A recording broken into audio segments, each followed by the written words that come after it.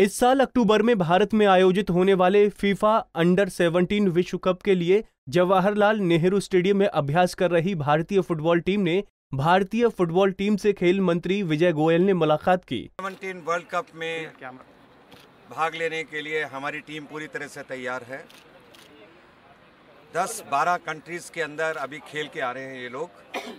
मैं समझता हूँ कि अपने कोच के साथ इन्होंने अच्छी प्रैक्टिस भी की है और अच्छे मैचेस भी खेले हैं। कोच का भी ये मानना है कि टीम बहुत स्ट्रांग है इस समय और हम भी बहुत आशा करते हैं कि they will prove dark horse in the tournament and पूरा देश इनके साथ शुभकामनाएँ दे रहा है कि फुटबॉल को हम ज़्यादा से ज़्यादा फीफा अंडर 17 वर्ल्ड कप के माध्यम से प्रमोट करना चाहते हैं। स्वयं हमारे प्राइम मिनिस्टर कहते हैं कि ना केवल क्रिकेट, बल्कि फुटबॉल, हॉकी, कबड्डी, कुश्ती खो खो इन सबको भी महत्व मिलना चाहिए।